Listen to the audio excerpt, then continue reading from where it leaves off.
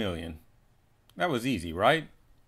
Now, write an algorithm to randomly choose a number between, between 1 and a million. Coming up with a procedural method for a random selection can be a little bit difficult.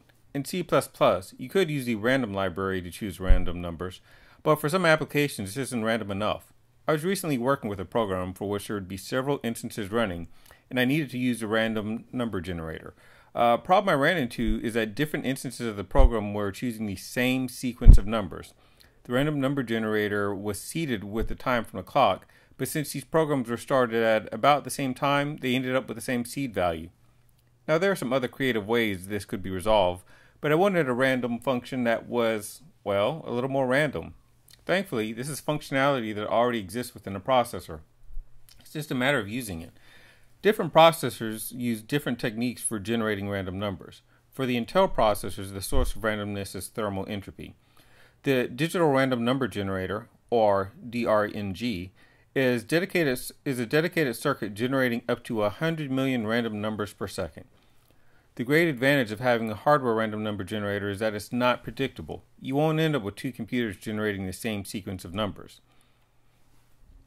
The secret to using this is just to write some assembler.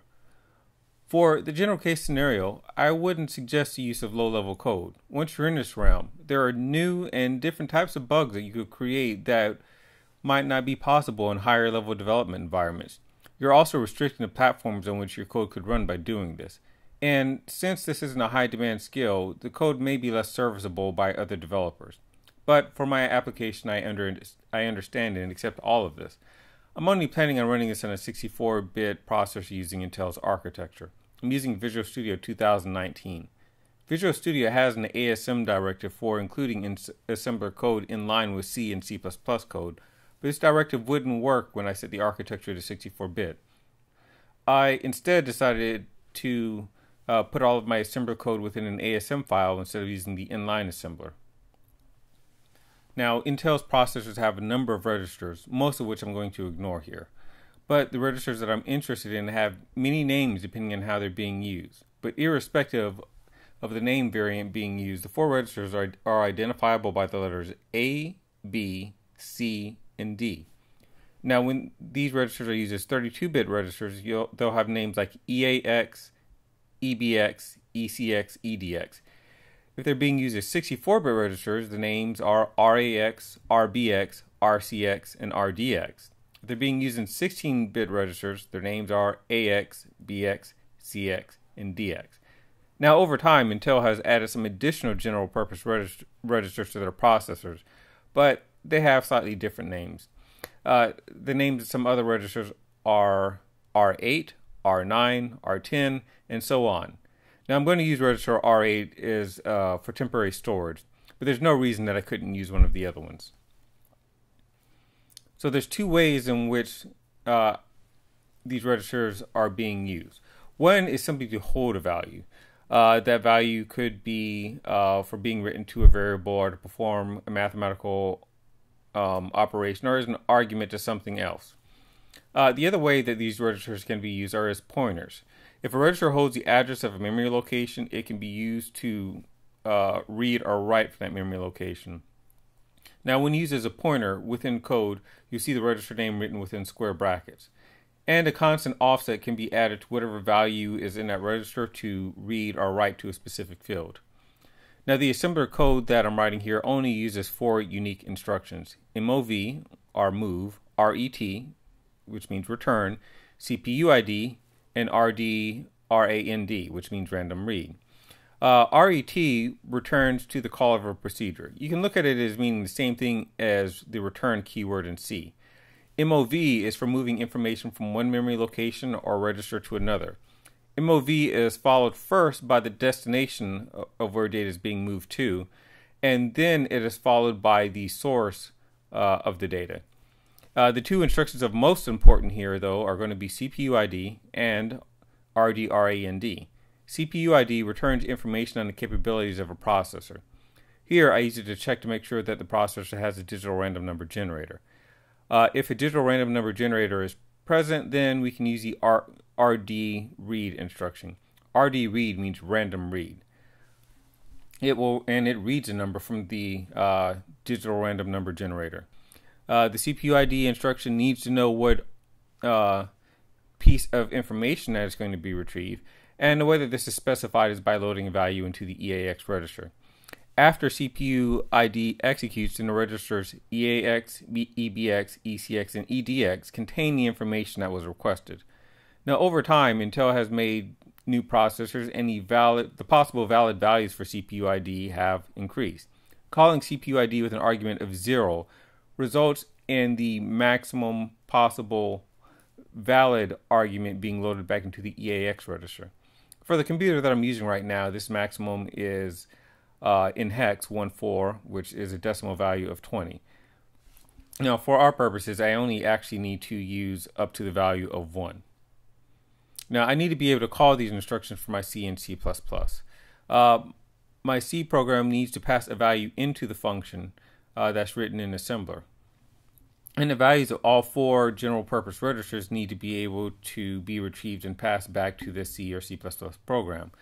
Uh, in the C code, I've defined a structure for holding the four values of the register. I've also defined a prototype for the function that is going to be made available from within the C or from within the assembler code. In the assembler code, these two arguments are passed through the ECX register, which contains the capability argument, and the RDX register, which contains a pointer to the CPU reg structure. I need to save the pointer from the RDX register somewhere else because the value there is going to get overwritten when CPU ID is called. I copy this value to register R8. Here's a complete source code for the routine that will let the C program execute the CPU ID instruction. I've saved this in a file named random.asm. To compile this, there are two command line utilities that will be invoked. ML64.exe is used to compile the assembler file into an OBJ file. Then link.exe will package the OBJ file as a lib to be linked to our C program. Both of these executables are in the same folder. I've added the path to these executables to my path environment variable. The location of these files will depend on what version of Visual Studio that uh, you have and where it's installed.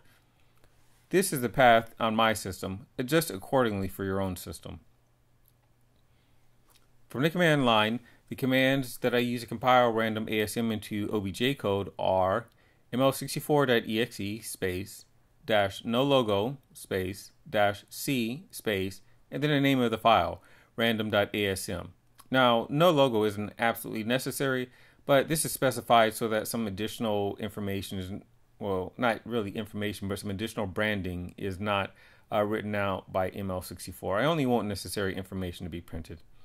Now, if this command runs successfully, there will now be a new file named random.obj in the same folder. To compile this to a lib file, use link.exe space slash lib space random.obj.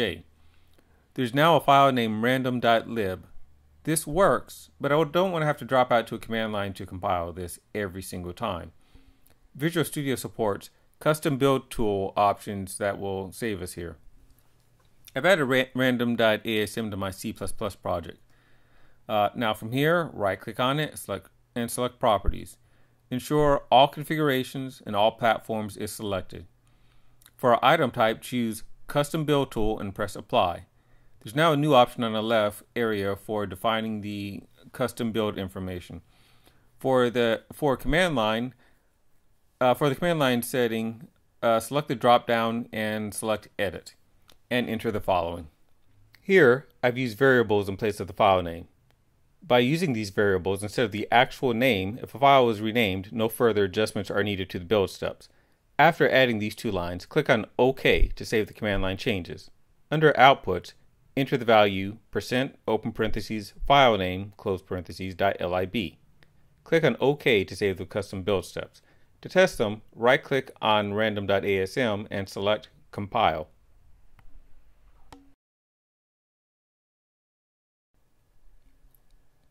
We've compiled a lib, but it isn't linked to our project. There's several ways that the lib could be linked to the project, but I prefer to use the pragma statement. And the statement is uh, pound sign pragma space comment open parentheses lib comma then quotation mark random dot lib quotation mark in close parentheses. I can now call the assembler code for my C++ code. To check for uh, the existence of the digital random number generator, I need to call uh, this function get CPU capabilities with an argument of 1. Now when I call it, here's the values that I end up getting back. Uh, the information of interest is in the uh, ECX register under bit 30. If this bit is set, then a processor has a digital random number generator. If the processor does not have a digital random number generator, then a C++ random function will be used. When my code is run on a processor without this feature, it will still run, but just with less randomness. I'm going to declare a function pointer uh, variable and have it set to the C++ rand function by default. The processor does support the digital random number generator, then this pointer will be updated to point to the assembler code.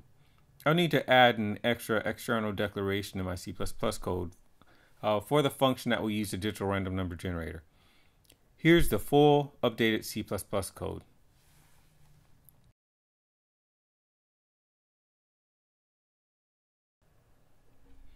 The function implementation that uses rdrand is only a few lines long. Adding it to the existing assembler code, I now have the following. Now, when I compile this code, it runs, I'm able to retrieve uh, numbers from the digital random number generator. Since my solution is going to be running in a very limited set of hardware and for a short period of time, I felt that using assembler as a solution was going to be okay. Repeating something that was said earlier though, I don't encourage the use of assembler in a general case scenario. But everything, when applied with discipline, has its place. Uh, beyond low-level functionality such as drivers, assembly has utility if you need to write high-performing code. If you do find the need to use assembler frequently, an alternative to consider is the Intel C++ compiler, which supports processor intrinsics without the need of dropping out to assembler.